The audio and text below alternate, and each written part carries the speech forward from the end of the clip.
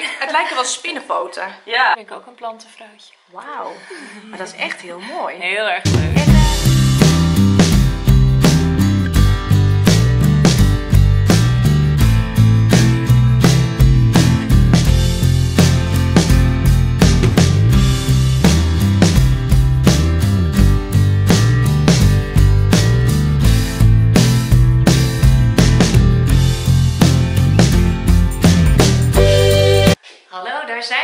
Met een nieuwe video. En we gaan het vandaag hebben over planten.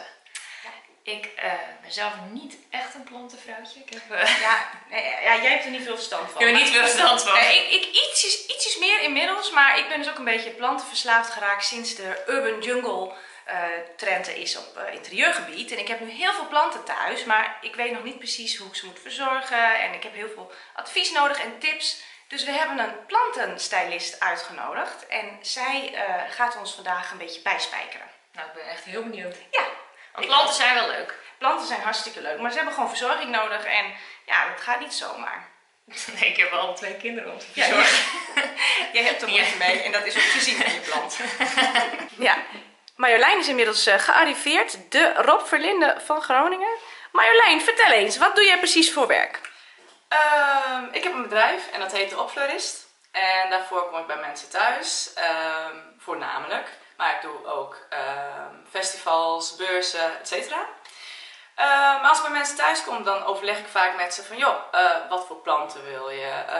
Hoe ziet je huis eruit? En dan ga ik samen met mensen aan de slag om hun huis te restylen. Maar dan met planten. Nou, stylen met planten, wat leuk. Hij is er gewoon uitgevallen op een dag en omdat, omdat hij zo stekelig is, kan ik hem niet meer terugzetten. Nee. Dus dat is eigenlijk meteen probleem 1. Ja. Hoe ga je, want jij hebt hem ook gewoon vast. Ik heb hem echt Ja, al moet je in, voorzichtig doen hoor. ik heb hem echt al een jaar niet aangeraakt. Nee. Het is echt ontzettend scherp. Krijg je dus Ja. veel met planten werkt, dan krijg je... Ja, dat ja joh. Oh, één grote eeltlaag.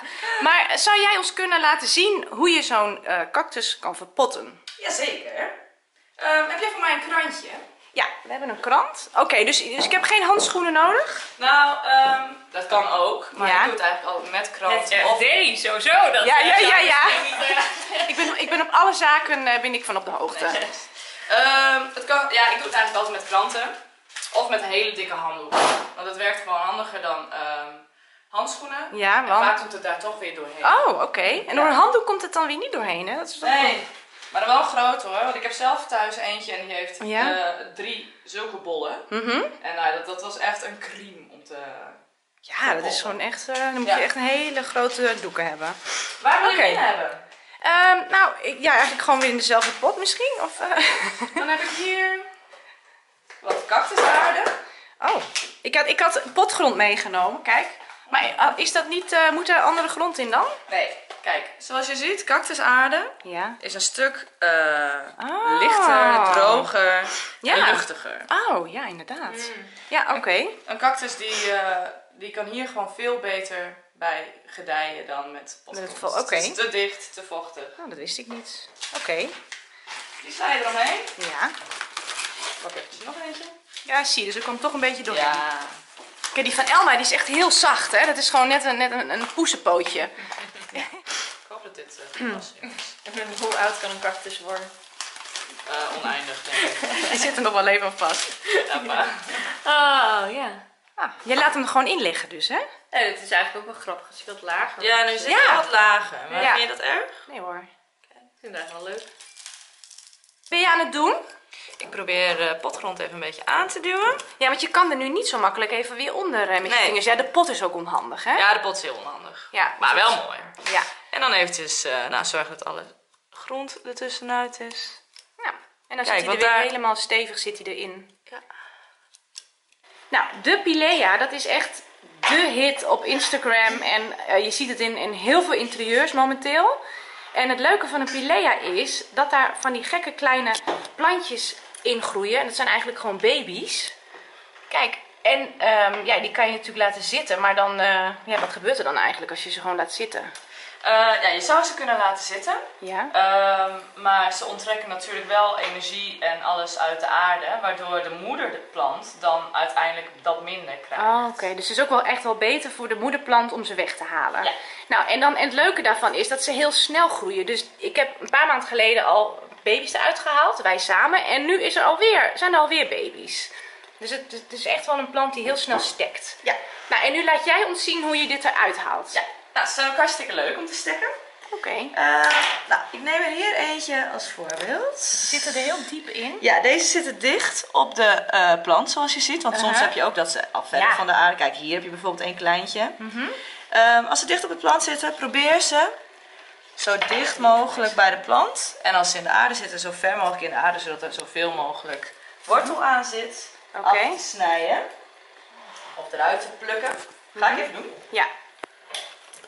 Je hebt ze er nu uitgesneden, gewoon met een Ja. eh, aardappelschilmesje. Probeer je, kijk. Maar dan snij je niet de wortels kapot. Eh, nou, kijk, deze hebben nog niet echt wortels. Degene die nog geen wortels hebben. Je snijdt hem gewoon af. Ja. Degene die nog geen wortels zetten, Oh. hebben, die zet je eerst op aarde. Oké. Of op, op water, sorry. Op water. Kijk, dus, dus je snijdt ze gewoon, omdat ze zo dicht erbij zitten, Ja. dan eh, snij je ze er gewoon uit. Ja. En dan snij je dus gewoon het worteltje af. Aha. En dan heb je hier de stekjes. Oké, en eh, Deze hebben nog geen wortels, dus, Nee. want die zaten heel dicht op de stam. dit is geen wortel. Nou, dat gaat wel. Kijk. Ja, hier heb je wel een wortel. Eentje, oh. Ja.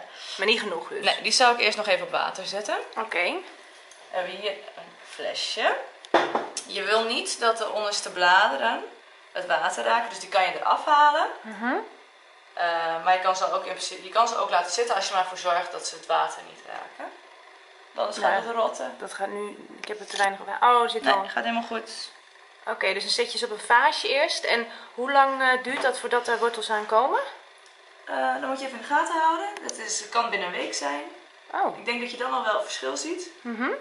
Ehm, en ik zou inderdaad even erbij houden of eh, hij nog genoeg water heeft. En elke Hm. week even het water verschonen. Oké, ach jeetje. Ja. De Monstera is ook echt een hit momenteel in huis. Ja. Eh, ik heb er ook eentje. Alleen de bladeren die hangen een beetje slap. En ik geef hem Een echt... beetje stoffig. En hij is... Ja, Ja, dat- ja, ik weet ook niet hoe je dit steeds eh Misschien met schoon de houdt. zuiger erover. Ja, hoe, hoe hou ik hem schoon en hoe krijg ik een blad recht? Nou, dat een blad eh, zo is, daar kan je vrij weinig aan doen. Oh, De, je zult zien dat de nieuwe bladeren die je krijgt, deze is wel goed. ja, dat die al een stuk steviger zijn. Dit is een nieuw blad, dat voel je ook. Die is zachter, die, is nog wat, die moet nog wat uitharden, zeg maar. Die wordt ook donkerder, zoals de andere. Ja, Ehm, ja, dit... eh, valt, eh, valt niks aan te doen. Soms heb je dat gewoon. Soms heb je dat gewoon. Oh, Dat ligt aan de plant, aan hoe die gekweekt is. Mhm. Eh, zo, zoals je ziet, vangt in die grote bladeren heel veel stof. Ja, En wat, eh, wat je daar tegen kan doen, of nou ja, je kan het met een stofdoek er allemaal afhalen, maar je kan ook gewoon af en toe even lekker sprayen. Mhm. Oh, Sowieso ja. vindt geen, eh, er zijn lekker. weinig Ja. planten die dat niet fijn vinden. Oké. Vooral planten met grote groene bladeren vinden sprayen heel fijn. Cactussen en succulenten zou ik dan niet sprayen. Mhm. nee. Ja, dus eh, Elma, Ja, ik vind hem ook leuk. voor je verjaardag? Ja, ik Hè?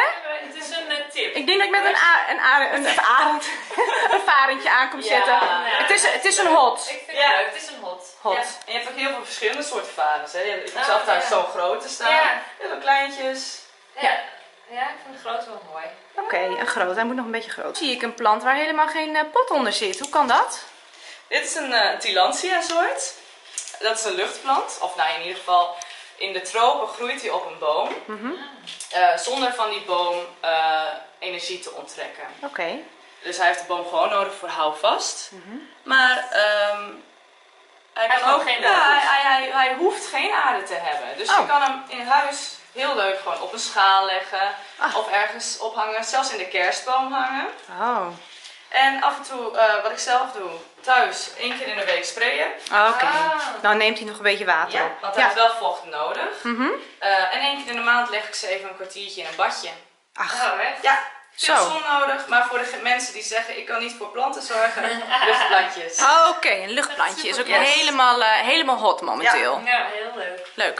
Ook wat hebben we hier, Marjolein? Nou, hier zie je allemaal eh, bladeren van vetplanten. Ik werk zelf ook als inkoper op de veiling in Eelde. En als er nou een blad van een vetplantje afvalt, dan neem ik die mee naar huis en leg ik ze op aarde. Nou ja, En zoals je ziet komen daar weer allemaal nieuwe vetplantjes dit, uit. dit zijn allemaal vondsten. Ja, dat zijn eigenlijk allemaal vondsten. Ik zal er even Wauw. eentje... Als dat geen Ja. recycletip is, Echt heel leuk. Kijk, hier zie je. terwijl ze afgeschreven zijn, krijgen ze nog gewoon een tweede kans. Ja, en dan komt er dan weer een plantje uit.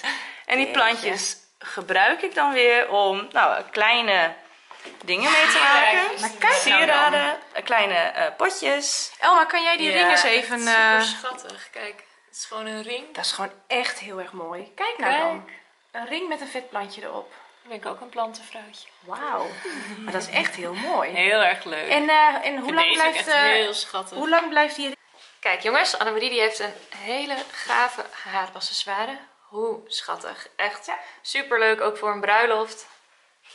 vet hot? Ik- Nou, dat was het dan. Onze plantenspecial met Marjolein, de opfleurist. We vonden het heel leuk dat je er was. En eh, we hebben veel opgestoken. Ik in ieder geval wel. En eh, als jullie nou ook eh, vragen hebben of eh, tips voor ons over planten, mag ook. Laat dan een reactie achter. En allemaal abonneren op ons kanaal. Tot de volgende keer.